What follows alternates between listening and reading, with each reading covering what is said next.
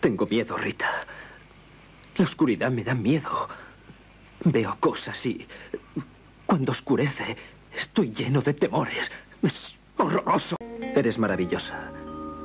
¿Quieres ayudarme? Te lo agradezco mucho. Cuando esté mejor, quizá vayamos a visitar tu pueblo. Has hecho que pierda un poco el miedo.